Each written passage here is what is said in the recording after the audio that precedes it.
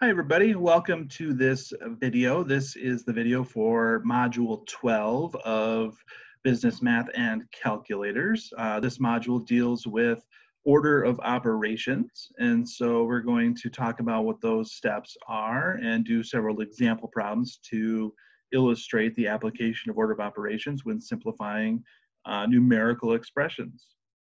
Uh, so with that, um, we're going to, I'm going to share my screen and we'll walk through some examples.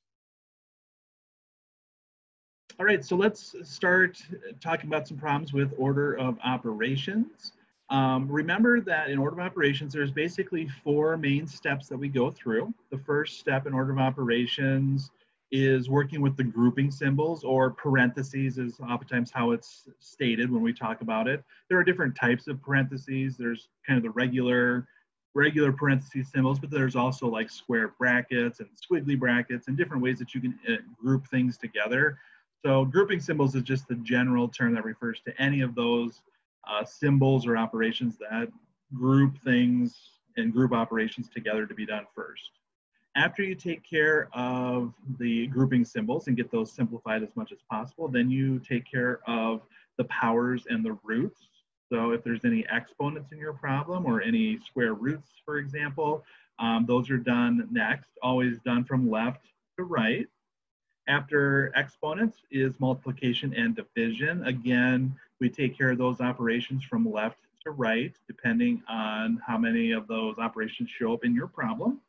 And then finally, the only thing that should be left is addition and subtraction. That's done last, again, from left to right. Okay. So let's go through and just do a couple of example problems to illustrate the application of order of operations. So we will jump into our first sample problem. And so we want to simplify the expression 5 to the second power plus 3 times the quantity 8 minus 2. I'm going to go ahead and just rewrite the expression. So we have something to work with. And now we just start progressing through the steps in order of operations. Again, first step is grouping symbols. So we do have parentheses in this problem. So what we do is whatever operation is inside of the parentheses, we take care of that first. So we're gonna do eight minus two in this situation. Eight minus two gets us six. So when we rewrite the expression, we now have five to the second plus three and then the parentheses, the six. Remember that, that parentheses also have the meaning of multiplication. So when you get it down to that single number, what this problem is now showing is that the three and the six are gonna be multiplied together, okay? Now, before we get to multiplication, the next thing to take care of though is exponents. We want to take care of those powers and, and any roots that show up. And in this problem, there is a power. 5 to the second power is 5 times 5, or 25. So that's simplified next. Now we go to multiplication and division. Uh, and like we just talked about, there's multiplication in this problem. So we have 3 times 6, which is 18. So we take care of that next.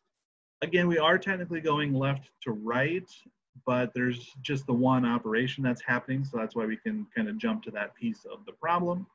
Last step in order of operations is to take care of addition and subtraction. There's only a, an addition step in this problem, so we do that next. Again, technically we go left to right, um, so we end up with an answer of 43. And there we go. That is our final solution. Remember, the goal with order of operations is to make sure that whenever you look at a problem and whenever anybody looks at the same problem, we want people to get to the same numerical result. And so it's important that we follow the steps carefully because it is possible if you do things out of order to get different numbers and that's what we want to avoid. You want to make sure that everybody gets to the same final answer when looking at the same problem. Okay. so let's go on to another example. Uh, this time we've got a problem that involves some division and multiplication and then some more division. So we're going to start by rewriting the problem. Now the key thing that i want to point out on this example is we don't have all of the different operations that are in our list of order of operations. Um, there are no parentheses, there are no exponents, there's no addition and subtraction. So what that basically means is we want to check those steps, but if there's none of that operation, you simply skip over it.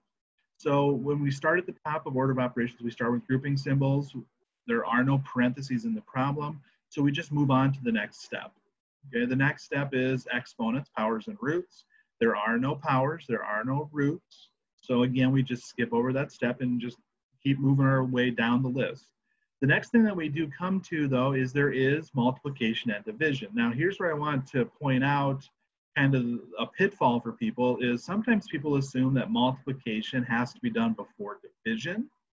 And that's not always the case. It depends on how they appear in the problem from left to right. If division shows up first, do division first. If multiplication shows up first, do multiplication first.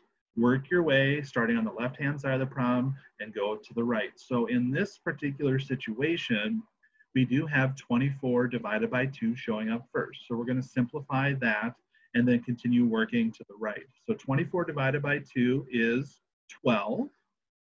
Now we've got 12 times 6 divided by 2. The timesing, the multiplication is next. So 12 times 6 is 72. And then we're left with that division. So 72 divided by 2 is 36.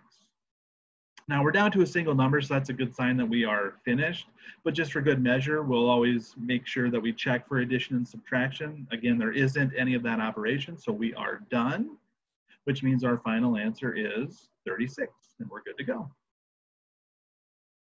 All right, let's do one final example problem. So we're going to simplify this expression. Again, I'm just going to rewrite it here so we have a problem to work with. We're going to start with our grouping symbols. There are parentheses in this problem. So we have 3 plus 2 in the parentheses. So we're going to simplify that first, get us down to 5. Okay. Now we're left with multiplication, subtraction, and division. So there are no powers and roots in this situation. We can skip over that step since there's nothing to simplify in that regard.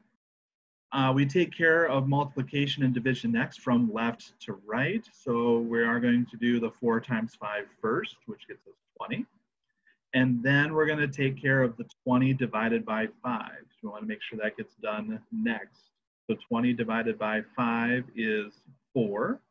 And that leaves me then with 20 minus 4. So addition and subtraction is done next. There's only the subtraction. So we do that operation. We end up with an answer of 16. And when all said and done, that is our final answer. And we are good to go. All right, so order of operations. Uh, hopefully this video was helpful in illustrating the process that you go through to simplify numerical expressions. Um, if you have any questions, like always, please do not hesitate to reach out and ask. I am always happy to help assist. Um, if, you, if you need help, uh, brushing up on your algebra skills, uh, let me know. Um, thanks again for watching the video. If you need anything, let me know. Otherwise, we will catch you in the next video.